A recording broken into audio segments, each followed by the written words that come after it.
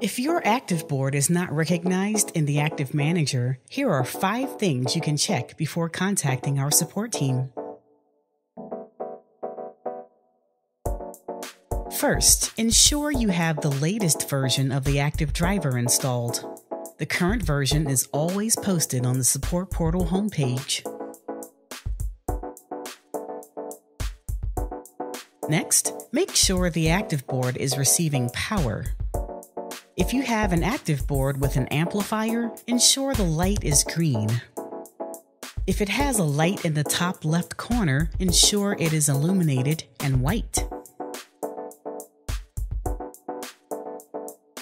Try resetting it by unplugging the power cable and plugging it back in if the ActivBoard is not receiving power. For ActivBoards with a second USB port, try plugging the USB cable into the second port.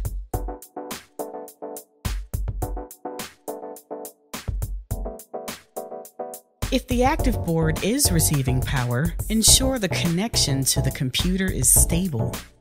Bypass any connection boxes, extensions, or boosters, and connect directly to the ActivBoard using a standard 3 meter cable.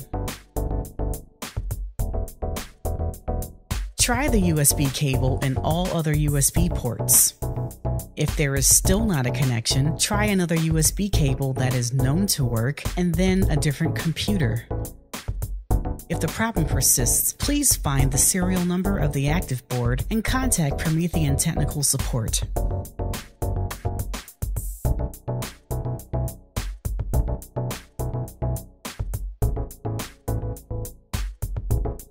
See Article 1088 on the support portal for help finding the serial number. For more help with your ActivBoard, visit our support portal for more videos and help articles. Thank you for watching.